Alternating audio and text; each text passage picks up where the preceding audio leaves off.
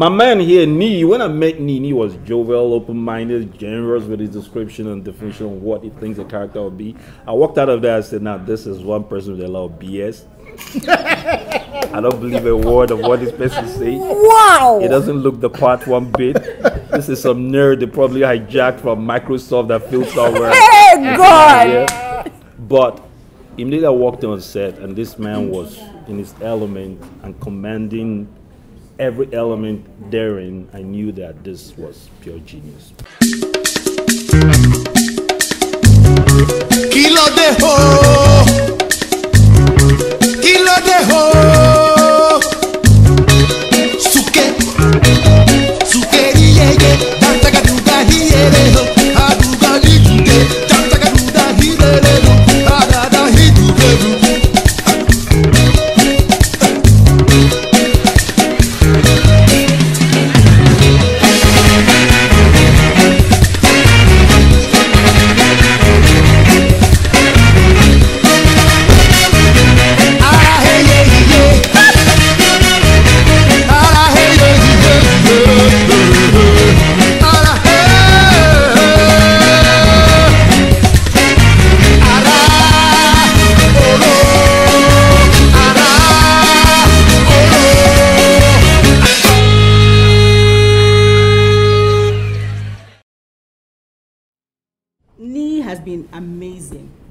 with all the work that you know he's done with us, done for us, you know, on on on our journey.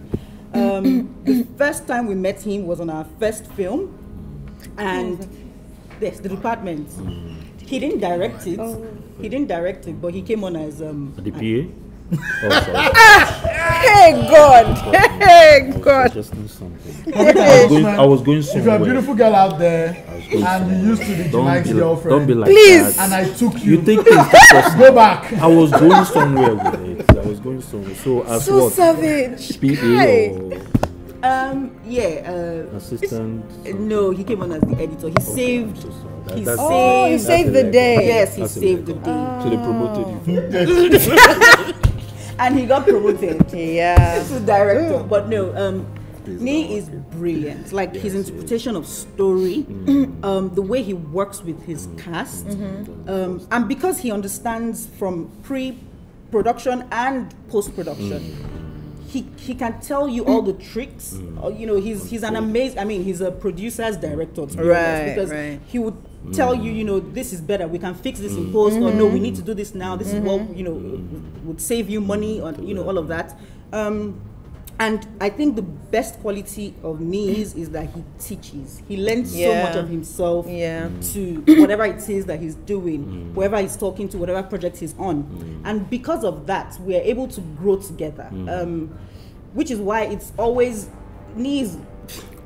Nee is always a choice for Inkblot, to be honest, on any on any film that we want to um, produce, because we just know that we can leave it to him and we'll be assured that we'll get what Right, we want. right. Yeah. We've shot 11 films. He's worked on 10 of 11 films. Wow. He's directed four, but he's worked on 10. Largely because you know they pay good money. It's good to be honest. Yeah, you know. Um, so I, I never set out in my career. Wow. Uh, I never set out in my career to just do anything. I mean, I made a colossal mm. mistake of a film in mm. 2010 with my mm. debut film Kajola, and it taught Is me. it still out there? The It, cut- yeah, it, it is actually. God. I'll find it. You'll find it. It's I'll on. YouTube. Yeah, I'll it. Someone put it on YouTube. Oh, I don't know how they found no. it, But it's on YouTube. Yes. Don't you just hate when things you want it to vanish and you Yeah, just but keep No, it's coming not up? going you know. anywhere. The internet So, never forgets. It Yeah. was it was really important that I but two things needed to happen. I needed to understand the Nigerian audience, um, which is a mistake a lot of young filmmakers make today. You don't just read stuff from an English Hollywood um, film book. And deep down, I wanted to make big films. So I am not. Um, if you if you want to do comparisons, you know, I am the guy who wants to be Spielberg or Cameron. You know, Right. it, films that define you know the course of an industry Right. those are the kind of films i care about and the there are very few people that kind of match those those the that um Vision. vision you know and one of them is largely nas if there is any studio that is really, really passionate about making films for two reasons because they love making films and because they want to make huge statements out there, it would be Inkblot. And I think it's only Inkblot that has that genuine quality, you know, um, in them. Genuine love. Yes, you know, so they, they really want to make film, but they also want to define an industry. That's important. And I can say very, very, uh, um, you know, without even thinking too hard about it, that in the next few years, you know, Inkblot is Nollywood will to- be defined by the movies Inkblot makes. It's gonna happen. Amen. Amazing. Over to you. Well, for me, for me, um, well, mine was one of due diligence first of all, because I have not worked with you guys. Uh, but I researched and found out the kind of quality of work you guys do. It's brilliant work, absolutely. It was a no-brainer for me from the beginning. Um, Susu, I've not worked with before that time, um, but nothing but great stories. I tried to work with her in Atlanta. Oh God, Oh, not this story. We need this story Please tell it to us. No. So- because so- because he didn't call me though. So I was, Wait, produ- I was producing. We, we, we started off on the back foot, I must say. But you, it wasn't me you talked yeah, to. yes, Please, on the let's wrong foot, not even Hey. wrong foot, bad foot. Let Wow. us hear So I um I had a movie I was producing, so I took Up it her upon my yes, I took it upon It myself. I I didn't want it anybody to make that phone call. I said, listen, this girl I'm calling now, I'm going to sell this thing to her. I've never She'll slash her him on the fee, phone and I know she'll come and work for me. You know, so I called her. Somebody picked up the phone. Well. It wasn't her that picked up the You phone, but somebody claimed to be her. I picked up the phone.